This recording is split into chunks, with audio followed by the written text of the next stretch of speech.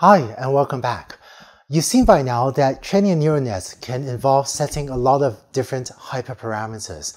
Now, how do you go about finding a good setting for these hyperparameters? In this video, I want to share with you some guidelines, some tips for how to systematically organize your hyperparameter tuning process, which hopefully will make it more efficient for you to converge on a good setting of the hyperparameters. One of the painful things about training deep nets is the sheer number of hyperparameters you have to deal with, ranging from the learning rate alpha to the momentum term beta, um, if you're using momentum, or the hyperparameters for the ADAM optimization algorithm, which were beta 1, beta 2, and epsilon. Um, maybe you have to pick the number of layers. Uh, maybe you have to pick the number of hidden units for the different layers. And uh, maybe you want to use learning rate decay so you don't just use a single um, learning rate alpha. And then of course you might need to choose the mini batch size. So it turns out some of these hyperparameters are more important than others. For most learning applications, I would say alpha, the learning rate, is the most important hyperparameter to tune. Other than alpha, a few other hyperparameters I tend to would maybe tune next would be um, maybe the momentum term. Um, I say 0.9 is a good default. Um, I'd also tune the mini batch size to make sure that your optimization algorithm is running efficiently.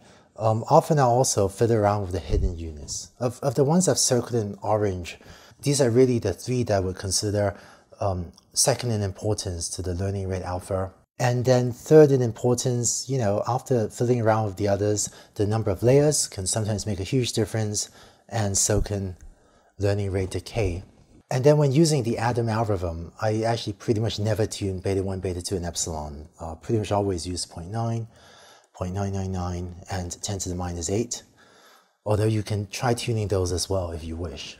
But hopefully this gives you some rough sense of what hyperparameters might be more important than others. Um, alpha, most important for sure. Followed maybe by the ones I've circled in orange, followed maybe by the ones I circled in purple. But this isn't a hard and fast rule, and I think other deep learning practitioners may well disagree with me or have different intuitions on these. Now, if you're trying to tune some set of hyperparameters, how do you select a set of values to explore? In earlier generations of machine learning algorithms, if you had two hyperparameters, which I'm calling hyperparameter 1 and hyperparameter 2 here, it was common practice to sample the points you know, in a grid, like so, and systematically explore um, these values. Here I'm placing down a 5 by 5 grid. Um, in practice, it could be more or less than a 5 by 5 grid. But you try out, in this example, all 25 points, and then you know, pick whichever hyperparameter works best. And this practice worked okay when the number of hyperparameters was relatively small. In deep learning, what we tend to do, and what I recommend you do instead, is choose the points at random. So go ahead and you know, choose maybe a same number of points, right? 25 points. And then try out the hyperparameters on this randomly chosen set of points. And the reason you do that is that it's difficult to know in advance which hyperparameters are going to be the most important for your problem. And as you saw in the previous slide, some hyperparameters are actually much more important than others. So to take an example, let's say hyperparameter 1 turns out to be alpha, the learning rate. And to take an extreme example, let's say that hyperparameter 2 was that value epsilon that you have in the denominator of the ADAM algorithm. So your choice of alpha matters a lot and your choice of epsilon hardly matters. So if you sample on a grid, then you've really tried out five values of alpha, and you might find that all of the different values of epsilon give you essentially the same answer. So you've now trained 25 models and only gotten to try out five values for the learning rate alpha, which is the thing that's really important. Whereas in contrast, if you were to sample at random, then you know you will have tried out 25 distinct values of the learning rate alpha, and therefore you'd be more likely to find a value that works really well. I've explained this example using just two hyperparameters. In practice, you might be searching over many more hyperparameters than this. So if you have, say, three hyperparameters, I guess instead of searching over a square, you're searching over a cube where this third dimension is um, hyperparameter 3, and then by sampling within this you know, three-dimensional cube, you get to try out a lot more values of each of your three hyperparameters. And in practice, you might be searching over even more hyperparameters than three, and sometimes it's just hard to know in advance which ones turn out to be the really important hyperparameters for your application. And sampling at random rather than in a grid ensures that you're uh, more richly exploring the set of possible values for the most important hyperparameters, whatever they turn out to be. When you sample hyperparameters, another common practice is to use a coarse to fine sampling scheme.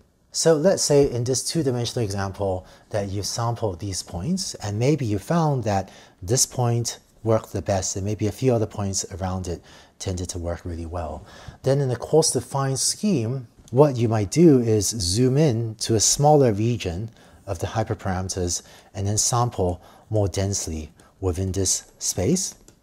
Or maybe again at random, but to then focus more resources on searching within this um, blue square if you're suspecting that the best setting of the hyperparameters may be in this region. So after doing a coarse sample of this entire square, if that tells you to then focus on, on a smaller square, you can then sample more densely in this smaller square. So this type of a coarse to fine search is also frequently used. And by trying out these different values of the hyperparameters, you can then pick whatever value allows you to do best on your training set objective or does best on your development sets or whatever you're trying to optimize in your hyperparameter search process.